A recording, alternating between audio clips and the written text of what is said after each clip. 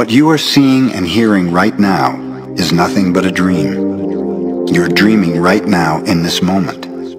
You're dreaming with the brain awake. Dreaming is the main function of the mind, and the mind dreams 24 hours a day. It dreams when the brain is awake, and it also dreams when the brain is asleep. The difference is that when the brain is awake, there is a material frame that makes us perceive things in a linear way. When we go to sleep, we do not have the frame, and the dream has the tendency to change constantly. Humans are dreaming all the time. Before we were born, the humans before us created a big outside dream that we will call society's dream, or the dream of the planet. The dream of the planet is the collective dream of billions of smaller personal dreams which together create a dream of a family, a dream of a community, a dream of a city, a dream of a country, and finally, a dream of the whole humanity. The dream of the planet includes all of society's rules, its beliefs, its laws, its religions, its different cultures and ways to be, its governments, schools, social events, and holidays.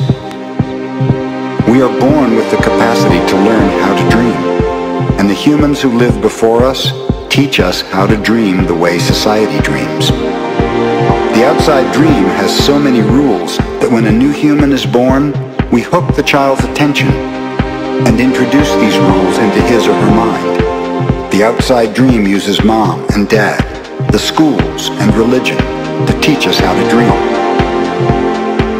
Attention is the ability we have to discriminate and to focus only on that which we want to perceive. We can perceive millions of things simultaneously, but using our attention, we can hold whatever we want to perceive in the foreground of our mind.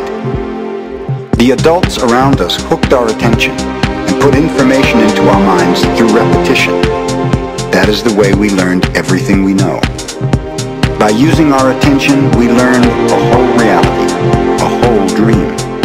We learned how to behave in society, what to believe and what not to believe, what is acceptable and what is not acceptable, what is good and what is bad, what is beautiful and what is ugly, what is right and what is wrong.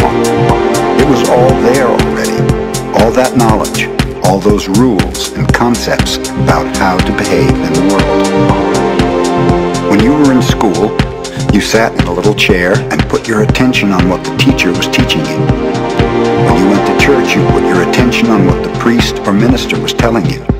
It is the same dynamic with mom and dad, brothers and sisters. They were all trying to hook your attention. We also learn to hook the attention of other humans, and we develop a need for attention which can become very competitive. Children compete for the attention of their parents, their teachers, their friends. Look at me, look what I'm doing. Hey, I'm here.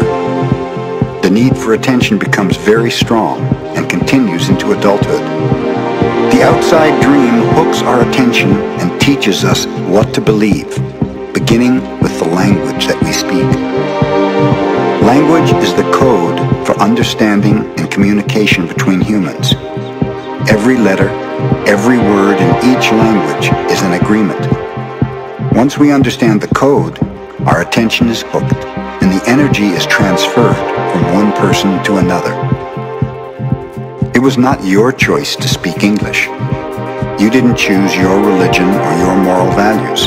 They were already there before you were born. We never had the opportunity to choose what to believe or what not to believe. We never chose even the smallest of these agreements.